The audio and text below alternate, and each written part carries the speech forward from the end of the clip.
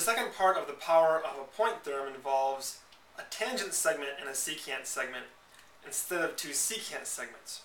So if you have some circle with some exterior point P, then consider uh, a tangent segment. So here we have some segment PT whose point of tangency of the circle is at point T, and then some secant segment that intersects the circle at points A and B.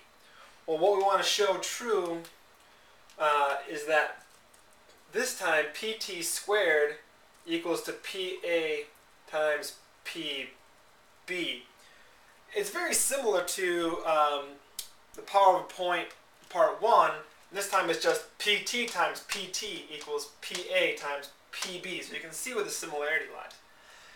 Um, so for example, you know, if this were 10 and this were 4 and this is some missing value, x, find the value of x. Well, pt squared is, that's 10 squared.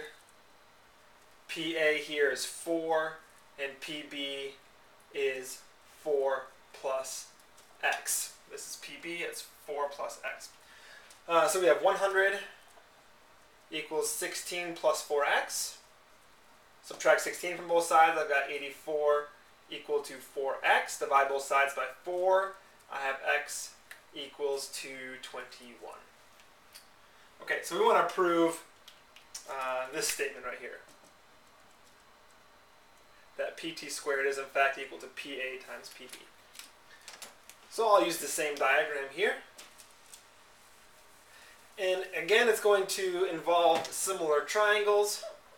And again, we have to uh, draw in some auxiliary lines to find those two similar triangles. So in this case, the auxiliary lines we need to consider are AT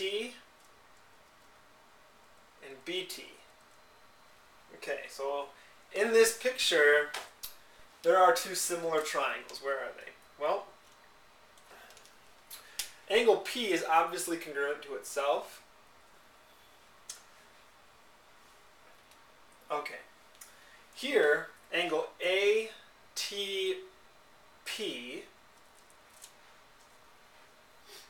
is congruent to angle ABT.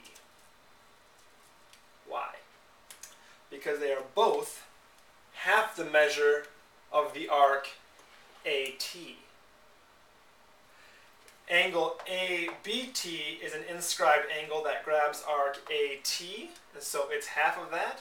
And uh, angle ATP, well, that involves this theorem that if you have a, a tangent and then a chord, that this angle here is actually half of this arc. Maybe I'll prove that in another video, but here there's your tangent, there's your chord, the angle that it makes there, ATP, is half of the arc it, inter it intercepts, which is this one, which is AT. So ATP congruent to ABT. Okay, so what does that mean? That means that triangle PTA is similar to triangle PBT. Good. So now we can set up a proportion. We can say that PT is to PB, so PT is to PB as PA is to PT.